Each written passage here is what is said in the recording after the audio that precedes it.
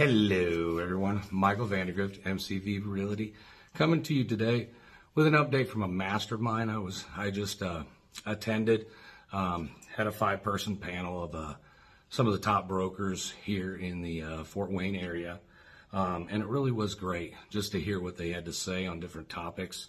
I mean, Ben Crenshaw, um, Keller Williams. I'm a little bit biased, but I'm gonna say he knocked it out of the park on mindset um, which I'll go over a video on that later. He had a great uh, slide on mindset and having a positive mindset. Uh, and, and running a business and knowing that, you know, as a real estate agent, you're a small business owner. You really are. Um, you got to go out there. Um, Jim Bradley came in second. He covered the buyer agency agreement, which we believe is going to become law here soon. Um, just so that more people have transparency on there's a sell side, buy side.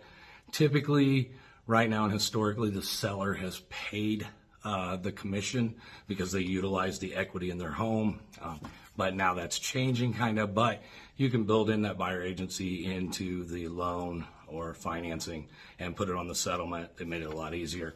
Um, but it's one of the things, you know, when you do, when you bring in a new client, I always try to sit down with them for a get together on going over the buyer's consult and go over this and, and set up an agreement that we're in agreement that I'm your realtor. I'm going to be working for you, protecting your interests, doing all the things. And the buyer agency agreement now has a list of items and duties that I have to fulfill for my clients to make sure that I'm not estranged from them and, and doing a series of events and procuring the home for them. So I think there's a lot of good things with it, and I know the media always wants to spin it negative, but I think it's a great thing for consumers to have more transparency. And since I've started, I've always told people that. So I've never been a lot of times back in the day, a realtors got in trouble. And I think a lot of these lawsuits are coming up because they were telling people they were free. Well, you weren't. You know, you're getting paid, but it's just the seller typically pays that. Um, so when people are selling and then buying, they're not paying twice. They're only paying commissions one time, just the seller's paying it. So, but that's going to be changing here soon. But we want to make sure we're transparent on how we get paid, you know, and that stuff because, you know, you're not running a business for free. Nobody can do that, you know. Um, and on those contracts, there has to be a beginning and an end.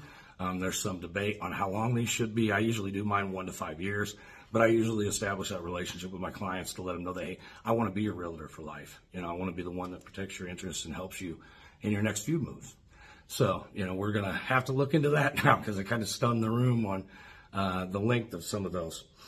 Um, and you want to make sure you got proper service. How how often do they want to be touched? How often do you want to stay in contact? Because I know the buying process from the time you think about it till you actually do it is on average 18 months.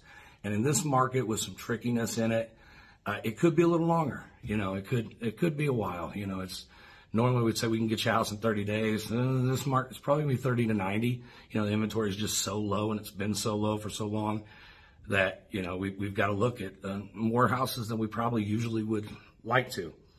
So yeah, and then third on the list, Tony Didier did a really good job at ad libbing and doing his on the fly, kind of piggybacking on everybody else's presentations.